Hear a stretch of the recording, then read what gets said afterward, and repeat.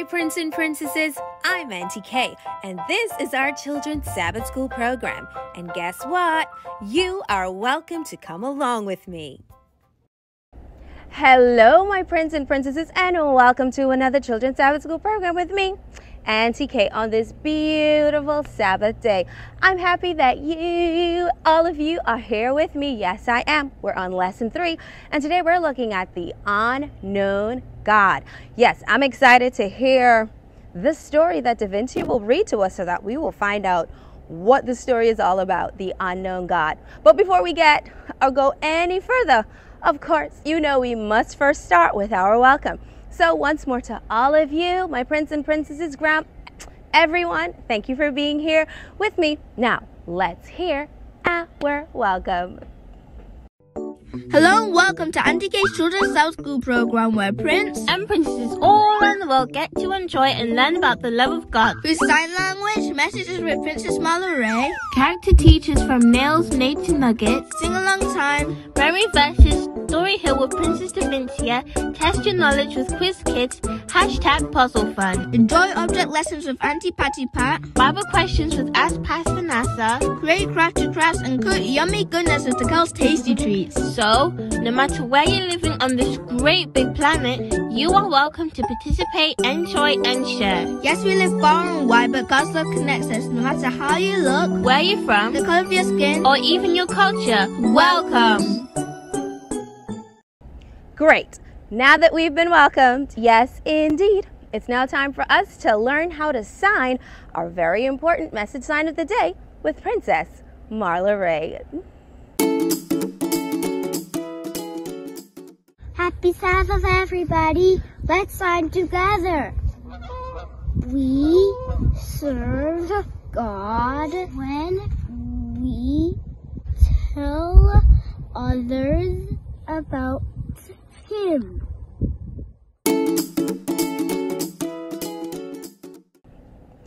Thank you, Princess Marla for every week dedicating your time to teach us how to sign our important messages. Thank you so much. And now it's time for us to go before our Father in prayer. So let's close our eyes and clasp our hands. Wonderful Father, thank you for this beautiful Sabbath day where the sun is shining down on my face and the ducks behind me are singing praises to you also. Thank you for bringing us through this week, no matter what it is we had to do or what it is we had to deal with. Thank you for allowing us to be here at this very moment. Thank you for the prince and princesses who are going to learn, who are going to praise, and who are going to give their lives over to you because of this program. Thank you for blessing us and thank you for keeping us, dear God. Thank you for just loving us always. In Jesus' name, amen. So, now that we've thanked our Heavenly Father for being with us and helping us, it's now time for us to learn from Nhael as he shares with us character building tips. Up next is Nhael's Nature Nuggets. Mmm, wow, this grass smells amazing. Do you know what it's called? Lemongrass. And do you know there are many lessons it can teach us? Here are a few. Number one, be temperate. When lemongrass gets too much water, its roots begin to rot. Water is a good thing, right? But too much of it causes damage. We should be temperate and not use too much of the things that are good for us. Number two, check your temper. Do you know that lemongrass is also called fever grass? It lowers body temperature very well. This reminds me of our tempers. It's important to ask God to lower our tempers so we can react better in difficult situations. Number three, savor God's blessings. Have you ever had a nice cup of lemongrass tea? I love it. Every time I drink a cup, I am amazed at how delicious it is.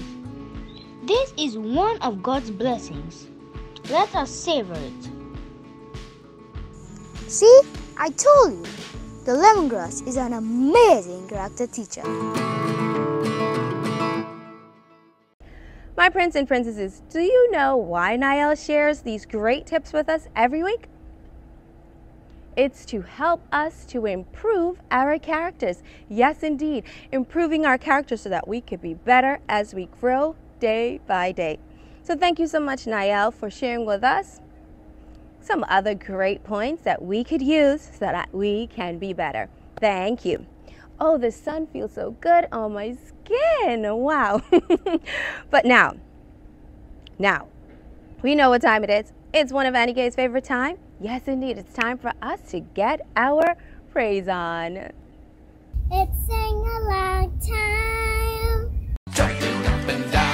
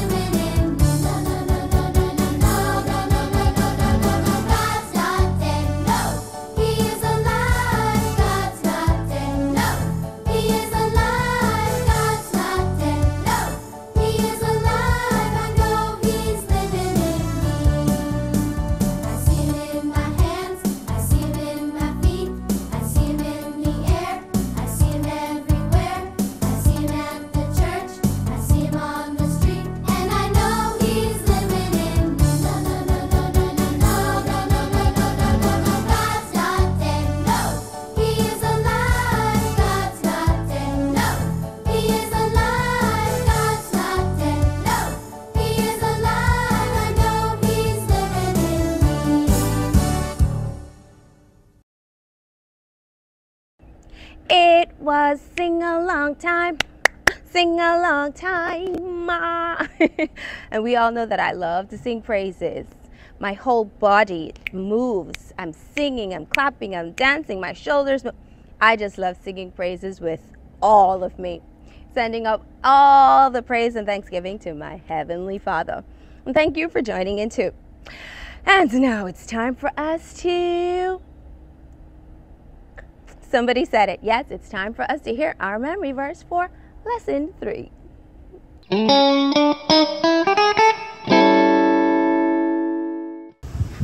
Hi everyone, my name is Celestine from United States of America. Our memory verse this week is Tell how much God has done for you. Luke 8 verse 39. A great job, Dad. My darling, thank you for sharing with us our memory verse. And now it's that time of the program where we get to hear our story. So, Princess Davincia, she's over at Story Hill waiting to share with us the story of the unknown God. So, turn up the volume in those ears so you can listen carefully. Hi, boys and girls. It's story time. The unknown God. Have you ever pretended that you didn't hear your mom the first time she called you? Sometimes we pretend that we can't hear someone, especially if they want us to do something we don't want to do. A long time ago, Paul tried to tell some people about the good news about Jesus, but many of them didn't want to listen. Thank you so much for traveling with me to Athens, Paul said to his friends visiting from the city of Berea. These people had just recently learned about Jesus. They had followed Paul to Athens so he could teach them more as they traveled. Please send Silas and Timothy this way just as soon as you can. Paul waved as his friends left back to go home to Berea. Paul was lonely in Athens.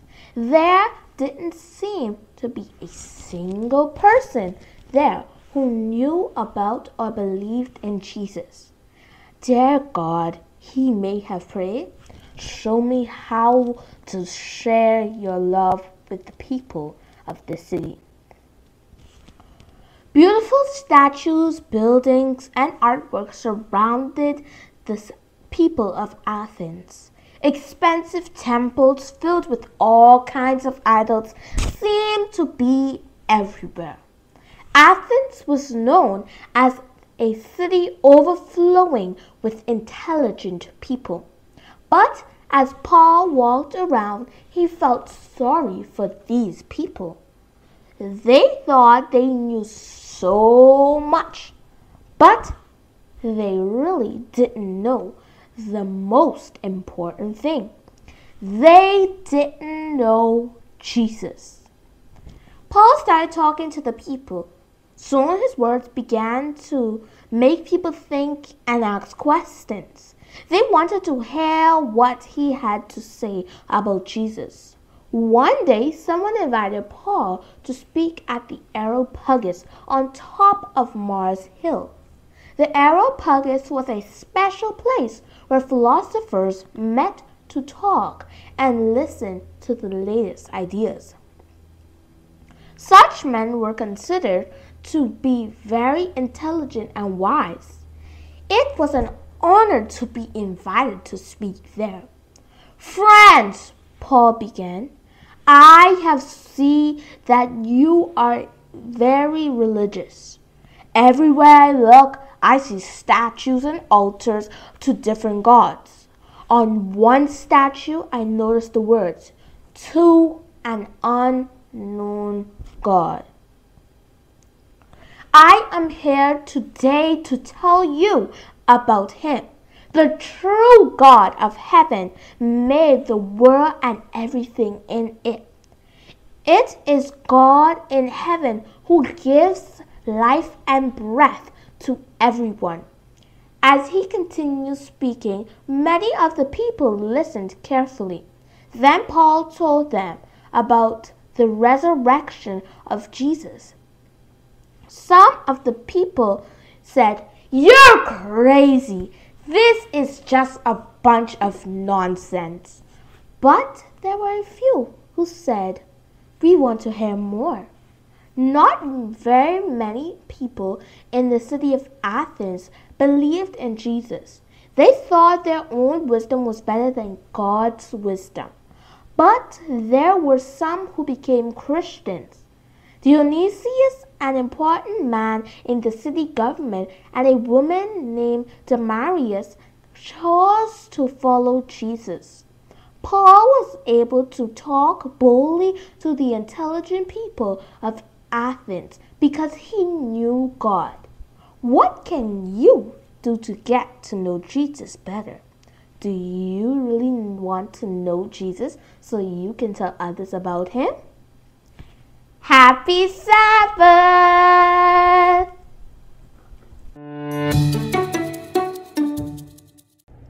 Thank you, Princess Davincia. Thank you, Princess Davincia.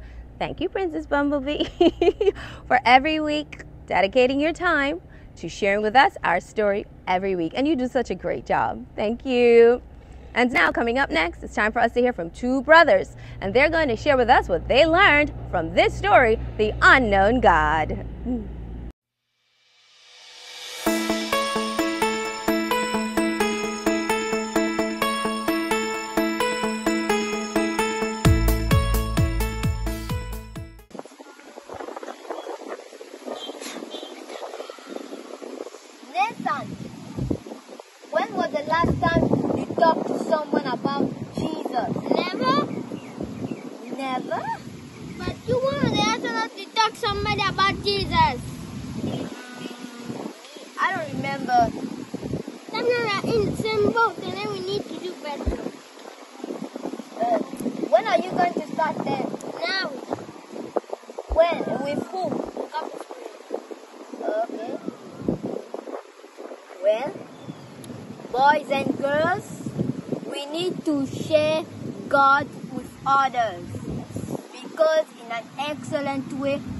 That we love Him.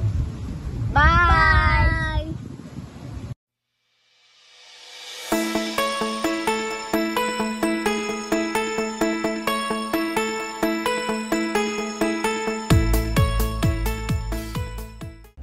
Thim and Nathan, another great job. Thank you so much every week for sharing with us your personal lessons that you would have learned from our story. A great job as usual. And Thim and Nathan, I want to let you know you guys have fans all over the world.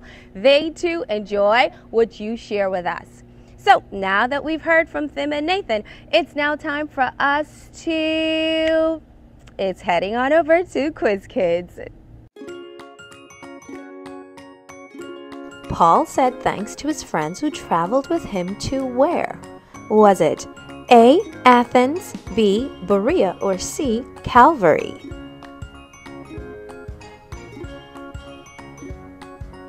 A. Athens. Paul asked for two of his friends to be sent to Athens. Who were they? Were they A. Judas and Saul, B. Peter and Matthew, or C. Silas and Timothy?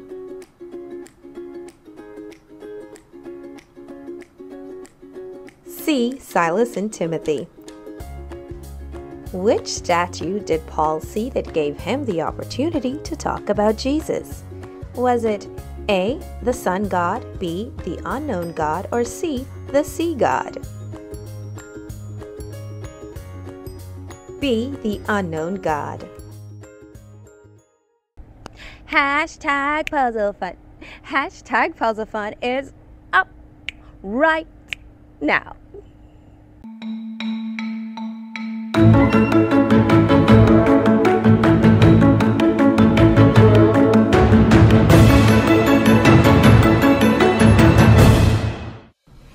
Unknown God Puzzle. Directions. To find the item that inspired Paul for his speech on Mars Hill, draw a line from one dot to a dot. beginning at 1.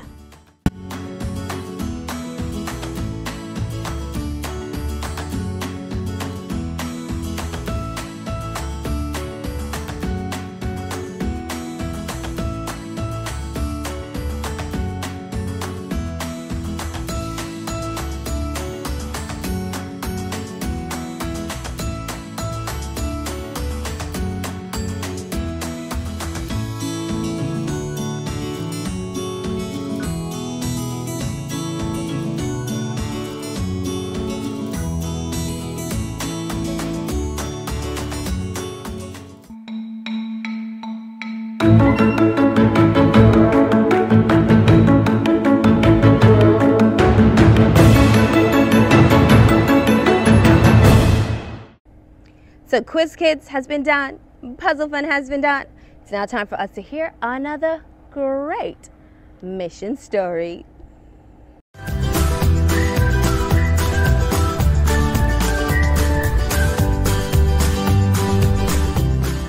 Big Bright Light. Grandmother was acting strangely when she came home on Friday night in Mazabuka, Zambia. Usually, grandmother arrived home singing. But this time she walked silently into the house and went straight to bed. She did not say a word to grandfather. She did not say a word to little Cynthia. She lay down and closed her eyes. But little Cynthia could tell that grandmother wasn't sleeping. Grandmother moved her arms and legs. She turned onto her right side and then onto her left side and then back onto her right side. Something was wrong. Grandmother certainly was acting strangely this Friday night. Finally, little Cynthia went to bed. Grandfather also went to bed. In the morning, grandmother told grandfather and Cynthia why she had acted so strangely. She had been scared. Grandmother said she was drinking at a bar when the sun started to go down. Then the sky grew dark, and she decided that it was time to go home. She was singing loudly as walked down the dark street toward the house when suddenly a dazzling white light appeared in front of her. The light was not from a car or a street light. The light hovered in the air like a big bright ball. Grandmother stared at the light. She did not know where the light had come from and where it might go. The song that she was singing stuck in her throat. Then the bright light vanished. Trembling from head to toe, grandmother quietly walked the rest of the way home. Little Cynthia was astonished to hear about the big bright light. Grandfather also was astonished. You'd better stop drinking. He said, This could be God talking to you. Little Cynthia wondered whether grandfather was right. Was God trying to say something to grandmother? Little Cynthia was still thinking about God when she heard a knock on the door. Grandmother opened the door. Outside stood a woman wearing a bright blue dress and a white woolen hat. Happy Sabbath, the woman said. I would like to invite you to church. Grandmother didn't have to be asked twice. Still frightened by the bright light, she wanted to go to church. Little Cynthia wanted to go to church. Grandfather also wanted to go to church. The family attended the Sabbath worship service at an elementary school. It was a special Sabbath program organized especially for visitors. That night, before going to bed, little Cynthia heard grandmother pray for the first time. Dear God, I'm not living a good life, she prayed. Help me to stop drinking. The next night, grandmother prayed the same prayer. Every night for two weeks, little Cynthia heard grandmother pray to God for help. She wondered what would happen next. One morning, grandmother got up with a big smile on her face. Little Cynthia knew that God must have answered grandmother's prayers. She was right. Grandmother never drank again. She also gave her heart to Jesus. Neighbors were shocked to see that grandmother no longer drank, How did you stop? said one, Tell us about the secret medicine that you got from the witch doctor. said another. Grandmother happily told everyone that no witch doctor had cured her. It was the God of heaven who had helped her to stop drinking.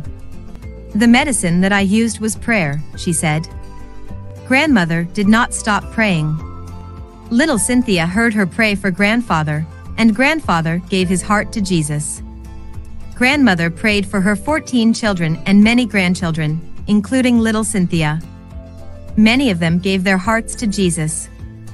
Grandmother is a real missionary because she brings people to God by praying for them. Little Cynthia is glad for the Friday night when grandmother came home acting strangely. It was the night that God began to turn grandmother into a missionary. So by now, my prince and princesses, I believe you all know exactly what's coming up next. After our mission story, it's now time for us to hear from Auntie Patti Pat as she shares with us through some object lesson what we could learn from the message. hmm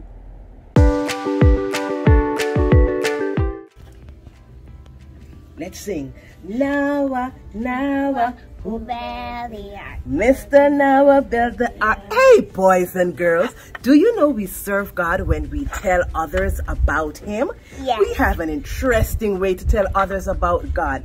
Guess what's her name? What's your name? Hadassah? And is Hadassah a name in the Bible? Yes. Who is it? Esther? Queen Esther. Yes. And what's his name? What's your name? Malachi? And Malachi is another name in the Bible. And guess who this is? I bet you guess it's Samson. But that's not who he is. Let's see who this is. Noah. And d- how does your name help? Some people ask me if I'm gonna build the ark, and then I get to tell them about the story of Noah. Oh, boys and girls, I don't have a Bible name. My name is Auntie Patti Pat, but I can tell others about Jesus. If you have a Bible name or if you have friends with a Bible name, you can call just the way Hadassah sometimes calls her granny and her friends and tells them the story of Queen Esther. Or you can tell any of your friends about stories about God. So, I don't know who you're going to talk about, whether it's Samson or Noah or Malachi or Esther, but do something for God.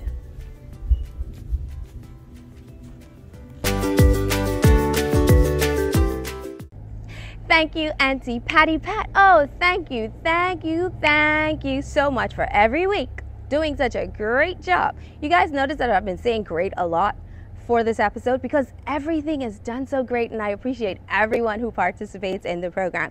So yes, and Patti Pat, you did a great job too. And now, my prince and princesses, after Auntie Patti Pat, it's now time for us to Ask Pastor Nassah. Hi, I'm Hadassah.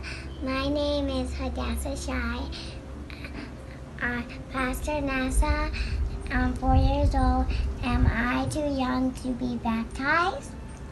Hey, thank you so much for that question. It's a really good one. Well, you know, in the book of Matthew, chapter 19 and verse 14, Jesus says, Let the little children come unto me and forbid them not, for as such is the kingdom of heaven. You see, boys and girls, Jesus loves the little children. He loves all children, all the boys and all the girls from all over the world. But we have to make a decision. That's right. You have to make a decision as a boy or girl to accept Jesus into your heart. And once you do that, he comes into your heart and he lives into your heart. But you may need to learn some more things. That's right. You may need to understand some more things about Jesus and how he wants you to live. So, the best thing that you can do is to tell mommy or to tell daddy or to tell your pastor and to say, I want to give my life to Jesus and I need you to teach me. And they are going to do their best to make sure that you learn all that you need to know so that at the right time you can be baptized and be with Jesus. Isn't that wonderful? I'm so glad that little boys and girls are making the decision to give their lives to Jesus. So, how about you do it today? Until next time.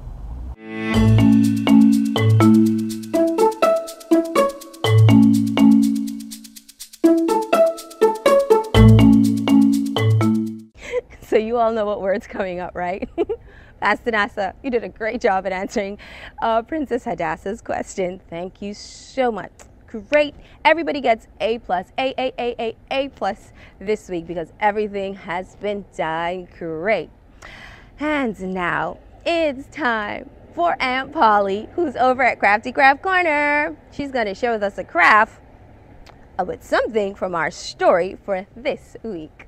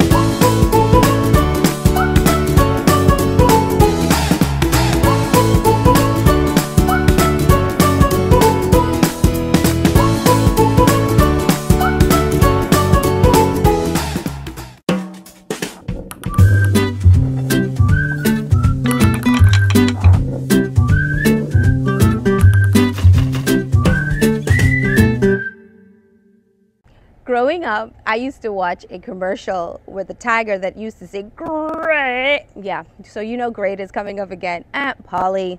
I love that cross. And I like the fact that it's edible too. You did such a great job with decorating it. Thank you so much. Great job. oh my goodness. Another greatness is coming up right now, and it's Princess Takell with Takell's mm, tasty treats.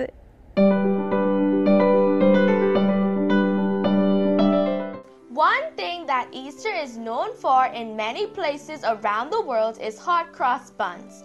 And since it's Easter weekend, that's what we'll be making today. Let's get started. Our ingredients for today include shredded coconut, flour, warm milk, 2 eggs, butter, salt, yeast, sugar, cinnamon, nutmeg, and allspice. You'll also be needing mixing bowls, a dough cutter, wooden spoon, a whisk, mittens, a kitchen towel, a lined baking pan, and whatever you'll be using to decorate your buns. To begin making your dough, whisk your milk, yeast, and sugar together and let it rest for 5 to 10 minutes.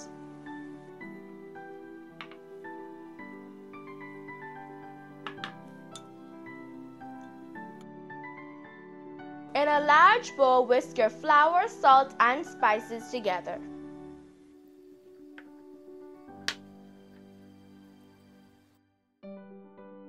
Stir in your shredded coconut.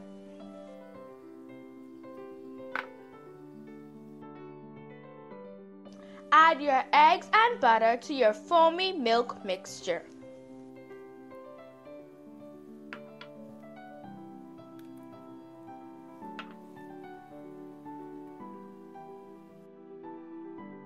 Use your wooden spoon to combine your wet and dry ingredients.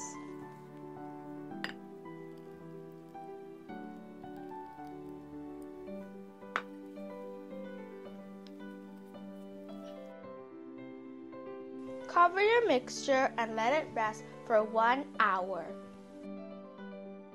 Place your dough on a floured surface and roll into a log.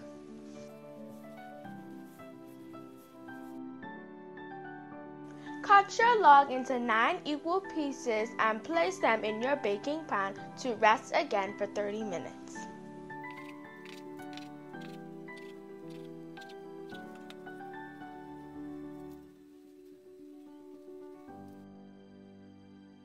Bake your buns at 350 degrees for 20 to 25 minutes, then let cool and decorate as desired.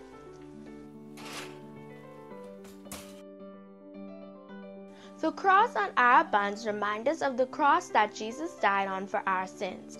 I'm so happy to know today that God is all around us and we serve Him when we tell others about Him. Time to bite into this bun.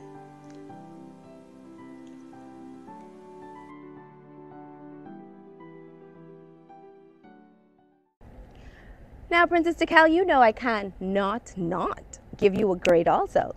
It was great and it was yummy. And thank you for sharing yummy, yummy, yummy greatness in my tummy, tummy, tummy. Thank you so much, my darling. And my prince and princesses, lesson three is done. But have no fear. I'll be back here come next week Sabbath with lesson four. So thank you for staying with me. Thank you for singing praises. Thank you for listening. Thank you for participating. And you know what? Thank you for just being here with me. I totally enjoyed and appreciated so much. So thank you so much, my prince and princesses, and have a great, happy Sabbath. And now, you know, I have to remind us that, you know, although our Heavenly Father is everywhere, He really wants to be in our hearts. So I love all of you. Yes, I do. Until next week's Sabbath, be blessed, be good, and be loved. Let's end with the Lord's Prayer. Our Father in heaven, hallowed be my name. Thy kingdom come, thy will be done. on earth as it is in heaven. Give us this day our daily bread, and forgive us of our trespasses, as we forgive those who trespass against us. And lead us not into temptation, but deliver us from evil. For thine is the kingdom, the power, and the glory, forever and ever. Amen. The Lord's Prayer. Happy Sabbath, everyone. Happy Sabbath, everyone. Happy Sabbath, everyone. Happy Sabbath. Happy Sabbath. Happy Sabbath. Happy Sabbath. Happy Sabbath, everyone! Bye! Happy Sabbath! Happy Sabbath, everyone! And we'll see you all again next week.